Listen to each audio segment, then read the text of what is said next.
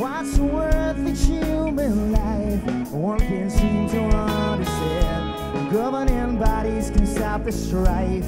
Yet thousands lose their lives. Connecting countries at point blank.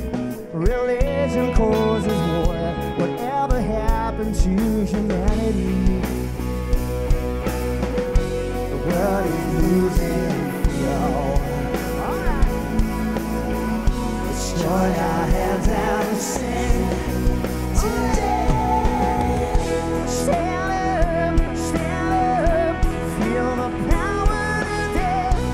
somehow, somewhere. A. Unite